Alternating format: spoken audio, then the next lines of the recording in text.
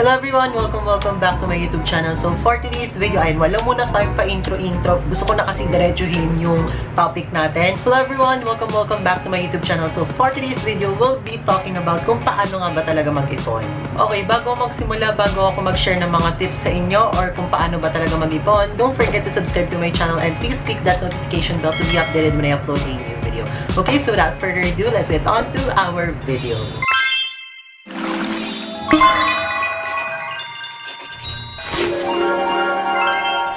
Wala muna tayong pa-intro-intro yung mga, hey guys, kung Gio nanonood ka ng mga ganun niya. Okay, so wala muna tayong pag ganun-ganun. Okay, let's go on to the topic kung paano nga ba talaga mag-ipon.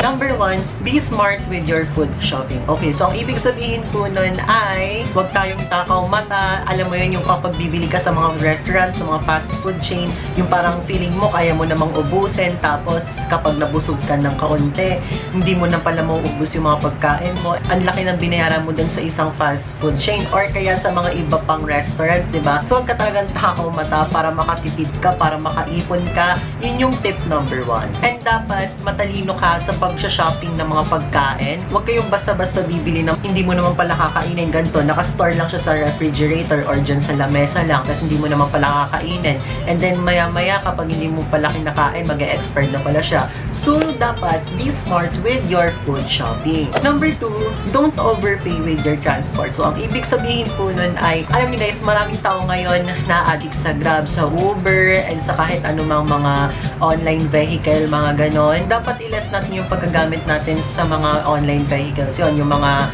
like yung application na sinabi ko sa inyo kanina. And dapat ginagamit mo yung kuya, bayad po, estudyante po, ayun, sa jeep, sa tricycle, or kahit saan man. Basta kapag may kita mo dyan sa nakalagay dyan na sasakyan na yan, basta may nakalagay dyan, student discount, di ba? Para po ang gana, para wala na tayong masyadong malaking babayarin, para mas less na, ba? At least kahit estudyante ka, may discount ka pa. And dapat marunong din tayo mag-commute kasi tayo mga Pilipino, sanay tayo mag-commute, alam niyo, mag-LRT, MRT, mag-jeep, mag-tricycle, or everything, ganun. Sanay na sanay tayo sa mga ganyan. Dapat masanay rin tayo sa mga commute, ganun. Kasi paano, for example, yung sasakyan mo, coding ka din, ganun. So, such as like that, di ba? Number three, differentiate needs versus wants. Ito yung pinaka-problema talaga natin best. I-differentiate mo yung needs versus wants kasi yung needs lang naman is alam mo yun, kailangan mo lang needs, yun yung talaga yung pinaka-importante. Yun yung kailangan mo. When you say it wants,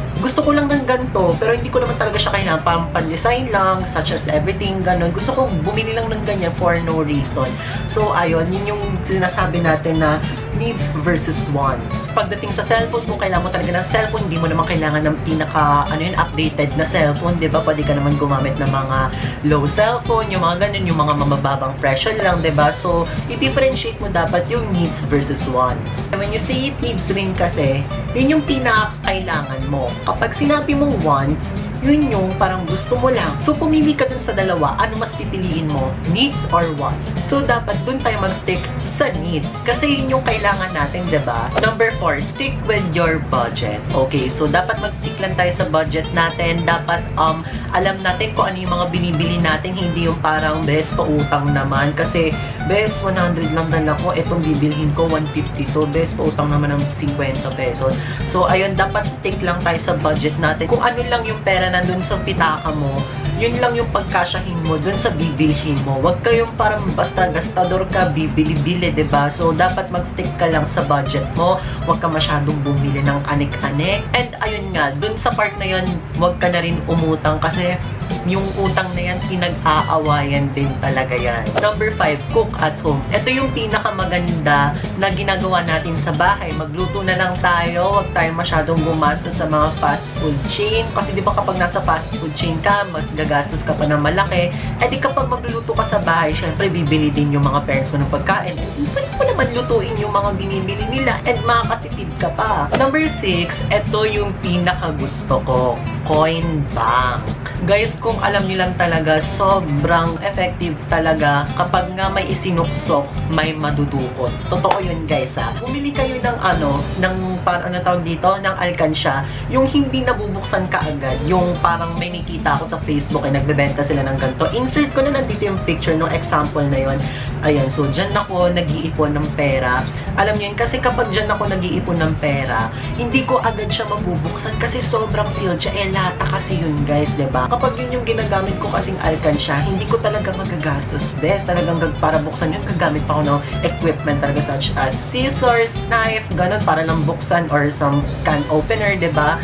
So, di ba nakakahasil din ko pag magbubukas ka nun. Kapag bibili ka naman ng ordinaryong mga coin bank, yung mga alkansya na madaling buksan, yung parang may mga cartoon-cartoon, agad mo talaga siyang makukuha yung pera mo. Number 7, sell your items that you don't need it anymore. Ayun guys, magbenta naman tayo ng mga bagay na hindi na natin kailangan. For example, um, ano ba yung pwede natin ibenta? Home furniture, yung parang gusto mo na talaga palitan, mga ganon, um, mga damit, mga sweaters, or mga clothes talaga, sapatos, dapat marunong tayong magbenta. O, benta mo yan, di ba? Kapag binenta mo, babalik ulit sa yung pera, may marireceive ka pang pera, di ba? Dali-dali lang magbenta. Meron tayong application na Shopee, Carousel, Lazada, di ba? Para magbenta ng mga items natin. Number 8 is dapat mag-canvas tayo. Besh, hindi canvas ha, hindi ka magdo-drawing. Yung canvas, ang ibig sabihin nun, for example, magtanong ka sa isang store, for example, yung uunahin nating store is sa Henry's. Okay, magkano ang ring light sa Henry's? is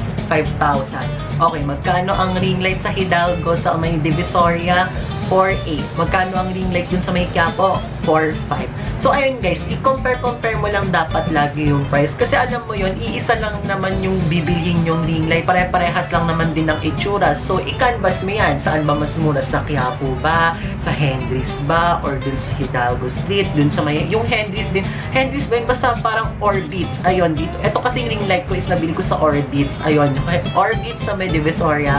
Dun sa Hidalgo Street. Ay, mag-compare-compare lang tayo ng mga presyo and yun yung tinatawag natin na canvas. Number 9, divide your lunch money or baon. Okay, paano nga ba mag-divide ng parang baon natin or pocket money, so whatever, ganon. I know guys, sa some of you na nanonood dito sa video na ito is um, binibigyan naman kayo ng parents ng money. For example, in one week, binigyan kayo ng 1,000. Okay, binigyan kayo ng 1,000. Yung i-divide mo dun sa 1,000. For example guys, um, binigyan kayo ng parents nyo ng 1,000 per week. Okay, so first week, second week, third week, fourth week. Ayun, so 1,000, 1,000, 1,000, 1,000, 1,000, may apat na libo ka na in 4 weeks. I-divide mo yan, best, kasi ang binibigay ng parents mo is baon mo na rin yan. Paano nga ba natin hahatiin yung baon natin sa pag-iipunan natin na ilalagay natin sa alkansya? Ang dali-dali lang yan, i-divide lang natin. For example, 1,000. Magkano bang magagastos natin sa isang linggo kapag may 1,000 pesos tayo? Eh, isang linggo parang ano na yun eh. Ay, what I mean is, di ba, meron tayong 5 days of school. Monday, Tuesday, Wednesday, Thursday, Friday. So, meron tayong 5 days. So, dun sa 1,000 na yun, teka lang ha, mahina rin kasi ako guys sa math, kaya magka-calculate din tayo. Okay, kung may 1,000 pesos ka na, dun sa limang araw na yon meron ka ng 200 per day. Ang ibig sabihin ng 200 per day, paano nga ba naging 200 per day? Okay, kasi yung binibigay ng mga parents natin is 1 week. Yung 1 week na yun, parang equivalent to 5 days na yun kasi kaya tayo binibigyan para sa school natin and etc. Ganun kasi yung mga person talaga na hindi sila namimigay. For example, kapag hindi school days. Kapag school days, ayan, hinihintay nila na baunan kami or sila. ba diba? So, yung ano na yun, yung minimin ko na parang 1,000 in one week is 5 days na lang siya. Okay, yung 1,000 na yun, dun sa 5 days na yun, meron ka ng, kapag um, i-divide mo siya, meron ka ng 200 pesos per day. Okay, 200, 400, 600, 800, 1,000. Okay, so yun yung sinasabi natin. Okay, hindi pa tayo dun nagtatapos. ba diba, dito sa lima na to, meron na tayong 200. I-divide mo yan by 2. 200 divided by 2 is 100. Okay, dun sa isang araw na yun, di ba, meron ka ng 200. Okay, so hatiin mo naman yung 200. Dun sa 200 na yun, hatiin mo siya. Hatiin mo, 100, 100. Yung one, isang 100 mo, lagay mo siya sa alkansya. Isang 100 mo, yun yung pambaon mo. Ayun, that's it. That's simple. Yun yung ginagawa ko, guys. Kasi ako, personally, binabaonan ako ng parents ko ng pera. Pero hindi ko nasasabihin kung magkano yung amount na binabaon sa akin. Basta ganun, guys. Binibigyan niya ako per week. And then, ang ginagawa ko, dinidivide ko lang siya. Kapag dinivide ko, ilalagay ko na siya dun sa alkansya and igagastos ko na siya dun sa aking school baon. Okay, lastly, number 10. Finally, matatapos na rin ang ating video. Get a job. Okay, magtrabaho tayo. Kung estudyante ka pa lang, kung magde-decide ka na gusto mong sideline or parang, ano ba tawag doon? Nakalimutan ko na. Basta yung may tinatawag tayo na, na kapag estudyante ka, pwede ka na agad magtrabaho sa McDonald's, sa Jollibee. May tinatawag sa Amerika kasi may mga ganon.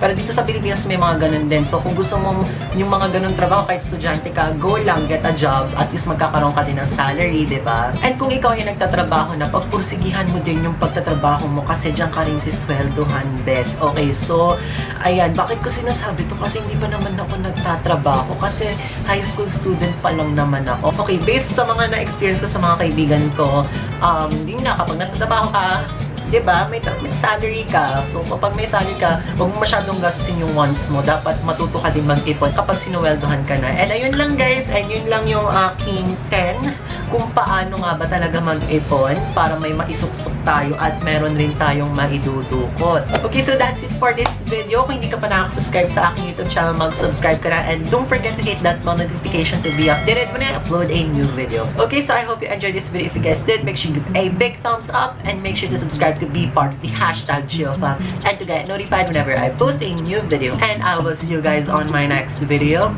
Bye!